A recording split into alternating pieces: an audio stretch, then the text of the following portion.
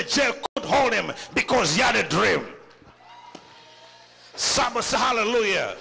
They took him to Pharaoh. Pharaoh couldn't hold him because he was a dreamer. He says, You have a right. Do whatever you want. Somebody say, I'm a dreamer.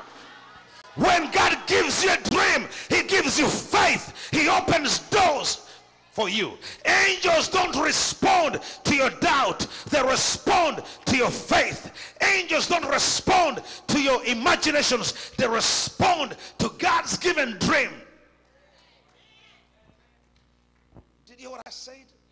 The angels that are signed over your life know the dream that God gave to you, and they're waiting for you to act on it so they can engage. Wow. So,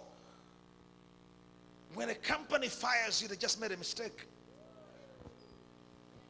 They created an opportunity for you.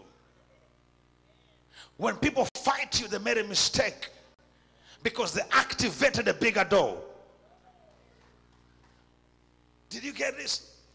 Like I told you yesterday, Pharaoh let the children of Israel go. They left with wealth, but they camped before they crossed the, the, the Red Sea. Now, watch this.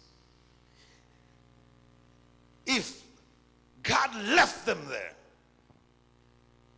they would have never gone to the promised land.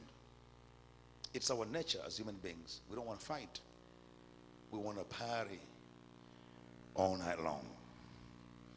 But you have to fight and then feast. Watch this. God is so amazing.